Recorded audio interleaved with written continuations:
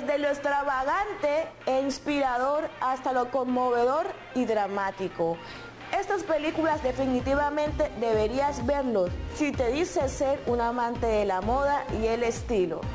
La primera película es Yves Saint Laurent del 2014. Esta película está basada en la vida de uno de los famosos costureros de Francia y es un gran diseñador. Así que no les voy a dar muchos detalles, mírenla.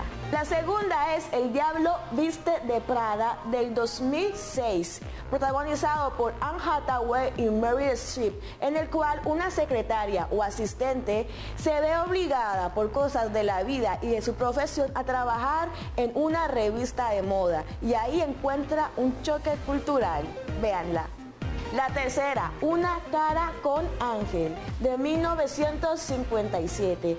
Antes del Diablo viste a la moda, ya tenemos o teníamos esta cara de ángel, basada en la vida de una mujer en los años 50 en París. Deben verla, chicos. Otra es Coco, de la rebeldía a la leyenda del Chanel.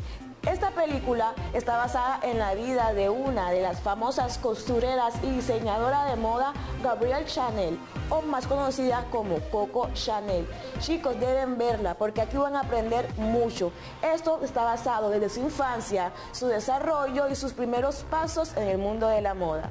La quinta es La modista del 2015.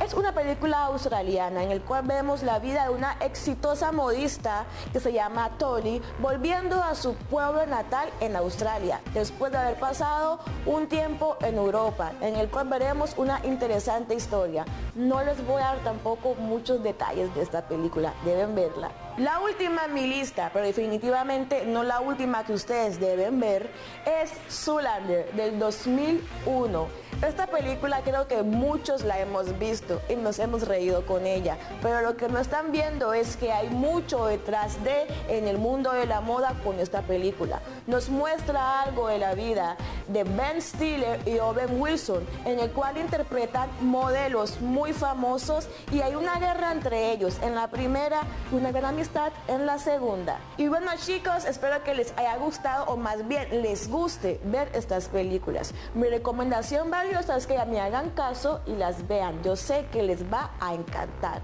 Eso fue todo por hoy. Bye bye.